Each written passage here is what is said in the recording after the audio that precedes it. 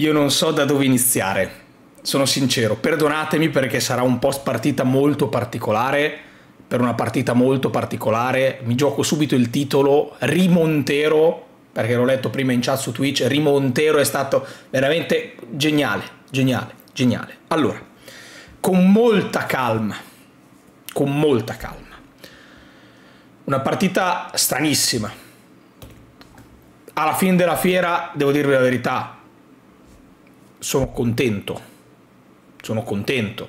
Perché io questa sera dal finale mi porto a casa tante cose, eh? Però il finale lo vorrei tenere per la fine. Vi dico subito le cose che mi hanno fatto imbestialire. Si può prendere gol dopo 90 secondi. Si può assolutamente fare. Può succedere. A maggior ragione dopo queste ore qui. Dopo queste ore qui, dopo 90 secondi puoi prendere gol. Confermo non succede niente. Lo metti in preventivo di scendere in campo con un umore un po' così perché è successo di tutto. Ci sta, ci sta tutto. Benissimo. Però, però, il secondo e il terzo gol in quel modo lì non li puoi prendere. Il secondo lo prendi lasciando due uomini liberi in area. Non esiste, non esiste lasciare due uomini liberi in area. Non esiste. E il terzo non può andare a concludere il difensore centrale in scavino su un'azione che stavamo facendo noi. Sono cose che personalmente non posso accettare, quella roba lì. Quindi io mi tolgo per il momento la roba brutta e poi parliamo della roba bella, ok? Quelle cose non mi sono piaciute, per niente. La Juve va sotto di 3 gol a Bologna e questo punto ce lo porta un solo uomo, perché questo punto è di un solo uomo. Ah, state parlando di... No, non è Montero, è colpo Gobbo. È colpo Gobbo. Perché sul mio canale YouTube l'altro giorno, sabato, porto un video insieme a Lello per parlare di Montero e robe del genere e lui dice Montero molto zemaniano. Cioè ci sono delle partite in cui puoi perdere 3-0 e poi le ribalti finiscono 3-3. Come cacchio hai fatto Lello? Come cacchio hai fatto? Io gli ho detto, ma sì, guarda, io ho visto gli ultimi 20 minuti della partita col Frosinone di, di primavera, oggettivamente poteva succedere tutto, si poteva fare gol, si poteva prendere gol, eccetera, eccetera. Però così ne, cioè, neanche il diavolo avrebbe scritto un copione del genere. Neanche il diavolo avrebbe scritto una roba del genere. Partiamo da capire che cos'è cambiato in questa Juve. In primis, l'atteggiamento perché la Juventus va sotto dopo 90 secondi, ma i primi 80 secondi sono chiari, una linea guida chiara, definita, e cioè proviamo a non lanciare sempre la palla. Da cosa si capisce questa cosa? Dal minuto zero, palla per la Juve, non c'è Locatelli che lancia a sinistra su Rabiot, c'è la Juve che gira palla. In una maniera disorganizzatissima.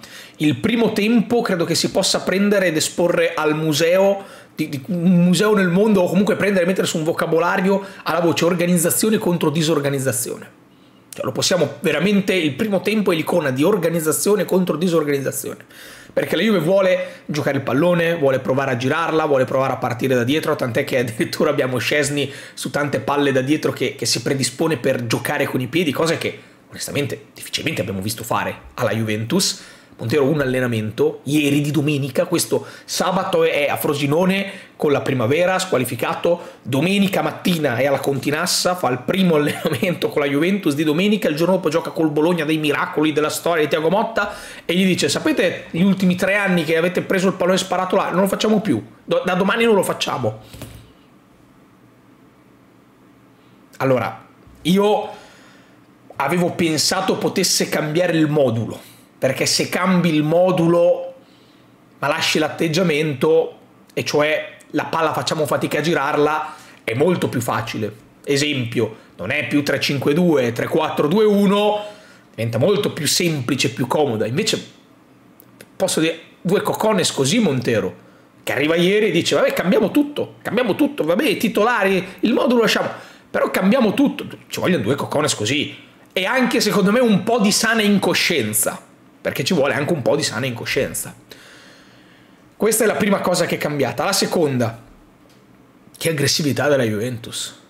perché anche quando perdeva 2, 2 o 3 a 0 la Juve, soprattutto quando perdeva 2 a 0 nel primo tempo, un primo tempo che oggettivamente ragazzi mi ha dato delle vibes di Empoli 4, Juventus 1 e quando ho fatto gol Chiesa mi sono anche un po' fermato il cuore perché proprio lì Chiesa fece gol ed eravamo 3-1 per il Bologna, ho detto ecco, fanno il quarto. Però anche e soprattutto nel primo tempo, quando la Juventus comunque era sotto di 2, io notavo questa aggressività della Juve che ha fatto veramente una partita dal punto di vista fisico, secondo me folle. Adesso io non ho i dati sott'occhio sono curioso di andare a reperire i dati della Serie A. Sono curiosissimo di andare a reperire i dati della Serie A. Ma secondo me la Juventus ha fatto una partita folle dal punto di vista dei chilometri percorsi, del fiato speso, eccetera, eccetera. Quella è stata una roba che non mi aspettavo neanche potesse fare, perché si vede che comunque quella, la Juve questa roba qui dentro ce l'aveva, ce l'aveva davvero, doveva solo andarsela a prendere. E secondo me si è sbloccata la Juventus come quando togli il tappo, no? Dalla bottiglia di vino, è quella roba lì. Perché quando sei sotto di tre e sei morto e puoi provare anche cose che non avevi ancora mai provato in stagione, quante volte ci siamo detti è così semplice. Ildiz a sinistra, Chiesa a destra, diamo ampiezza e facciamoli giocare così.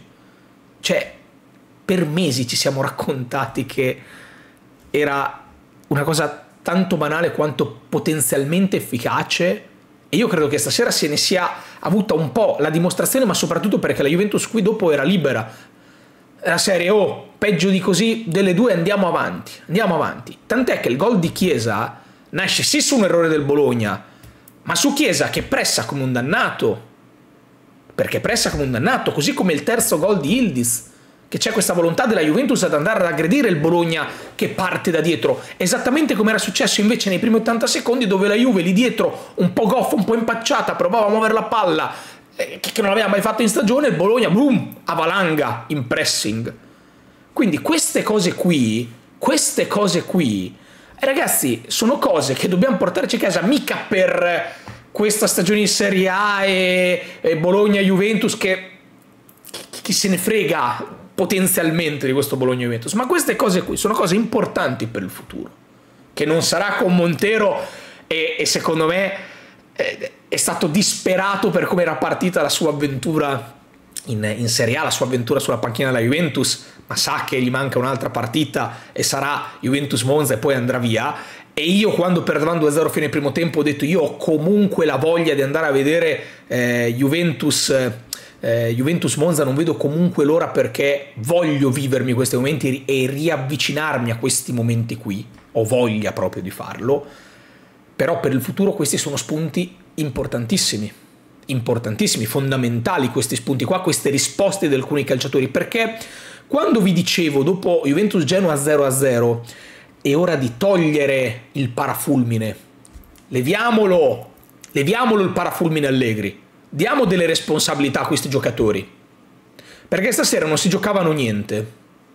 E secondo me non sono partiti per andare in campo alla morte. Però poi è venuto fuori Montero, perché comunque si è avvertito, e ve lo ripeto, la Juve che non butta via palla, la Juve che pressa costantemente. Quanti falli ha fatto la Juventus? Tant'è che Montero a fine primo tempo fa due cambi, Miretti e Cambiaso. E perché? Perché sono due ammoniti della Juve quanti falli, quanti falli ha collezionato la Juventus? Quanti falli ha fatto? Quanti gialli ha preso? Stasera c'era la volontà comunque di picchiare. e per quanto sembri incredibile perché ha fatto un allenamento, si può, e Montero non aveva mai fatto una panchina in Serie A, non stiamo parlando dell'allenatore che rivoluziona il calcio, roba del genere. No, però a sua immagine e somiglianza questa Juventus lo è stata, anche perché se sapevamo che già la sua primavera era una squadra matta, una squadra loca, per dirla anche, non Locatelli, loca, passa per dire la sudamericana, lo abbiamo riscontrato oggettivamente anche nella sua prima panchina in Serie A, ma soprattutto una squadra che descrive alla perfezione quello che è stato il modus operandi di Montero su un campo da calcio, picchiare, legnare, far sentire agli avversari tacchetti.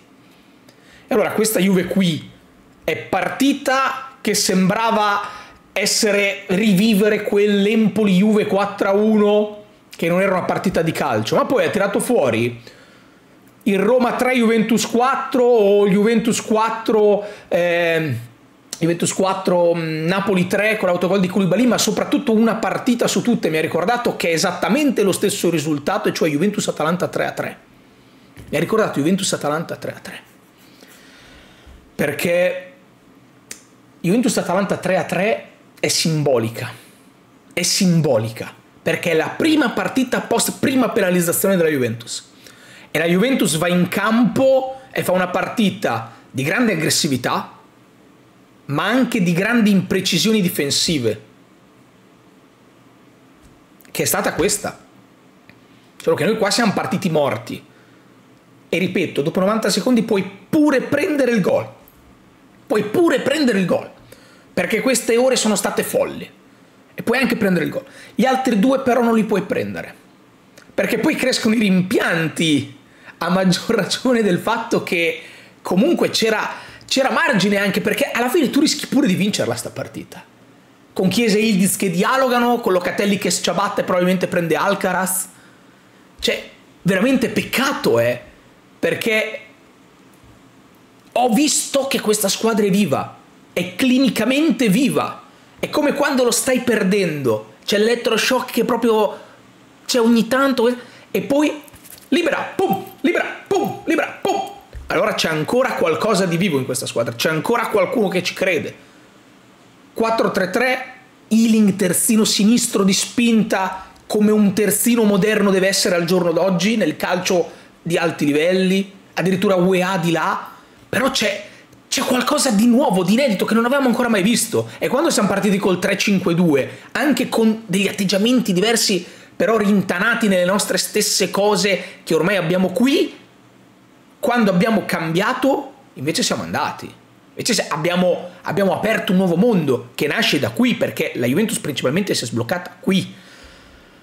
Due cose positive, al di là della bellissima esultanza di Montero sotto la pioggia che io Montero non l'ho vissuto da calciatore perché quando ho iniziato a seguire io la Juve Montero era andato via da un paio d'anni però conosco la storia di Montero, ha fatto una vita alla Juventus, è simbolico. Quell'esultanza lì al gol del 3-3 di Hildiz. Che, ma che bella, che bella che è, che bella. Una, è stata proprio una cosa bella ed è stata, vi giuro, un'emozione bellissima. Vi voglio portare la clip di come ho esultato anch'io al, al gol del 3-3 perché c'era qui Nala che dormiva, mi sto un po' commuovendo perché è proprio una cosa bella. E l'ho presa in braccio, abbiamo esultato, abbiamo festeggiato insieme, eccetera, eccetera. È stato un momento bello. Ma il ritorno di Fagioli, il ritorno di Fagioli in campo, dopo la squalifica, un'altra cosa bella, perché è un'altra cosa bella quella lì. Ma soprattutto io voglio parlare di una tematica che è quella legata ai tifosi, della curva perché i tifosi della curva a un certo punto hanno intonato un coro a Massimiliano Allegri, con la Juventus che perdeva di due, che per me non è una cosa bella, non è una cosa fantastica, perché Allegri oggi è il passato e, e lì c'è la Juve di Montero, però io credo anche che uno sia libero di fare quello che vuole, uno va allo stadio e fa quello che vuole pagando il biglietto, quindi io non l'avrei fatto, però i tifosi della curva hanno fatto bene per me, se lo sentivano anche perché questa è una ferita aperta per quei tifosi che ancora sono lì, che, che so, sono felici della figura di Allegri, l'avrebbero voluto ancora. Io, quindi ognuno ha diritto a fare quello che vuole. Ma al di là del fatto che io possa non essere d'accordo con questa cosa qui, io voglio fare i complimenti e ringraziare i ragazzi della curva che sono andati a Bologna questa sera, che hanno preso tutta quell'acqua. Io sono in Emilia, la sto sentendo, forse la sentite anche voi, e ne hanno presa tanta ed erano lì a cantare per la Juventus, perché ci sono stati cori per Allegri, ma ci sono stati tantissimi cori per la Juventus. Ecco, io da questa cosa qui voglio ripartire, perché forse anche su, sul 3-0 per la Juve è stato il momento veramente più difficile per la nostra tifoseria sfaldata completamente, i messaggi allegri qui, allegri là. Noi dobbiamo ritornare sulla Juventus. E per quanto ognuno, ripeto, abbia completamente diritto a pensare quello che vuole, però la Juventus è, casa, è la nostra roba, è il nostro amore, è la nostra vecchia signora. Quindi questi sono i concetti che, che voglio portarmi a casa da questa sera, perché sul 3-0 ero morto proprio arrabbiatissimo anche se non c'entra niente questa partita eccetera eccetera Eppure alla fine per questo 3-3 ci sono tanti piccoli spunti positivi, ripeto, non per questo campionato ma per il futuro. Quindi torniamo tutti a unirci sotto la grande bandiera bianconera perché abbiamo veramente bisogno di, di tornare a essere tutti uniti, tutti compatti, tutti fratelli, perché questo è, siamo tutti tifosi della Juventus. Quindi un grande, grandissimo forza Juve e io questa sera mi porto a casa tante belle cose. Abbiamo fatto anche un bel post partita più lungo del solito perché stasera ci sono state tante cose da dire, tante cose brutte, tante cose belle, però per me sono state più le cose belle. Rimontero, alla grande, Rimontero è veramente il titolo più bello del mondo. Ciao a tutti ragazzi e ci vediamo domani con tutti gli altri contenuti post partita.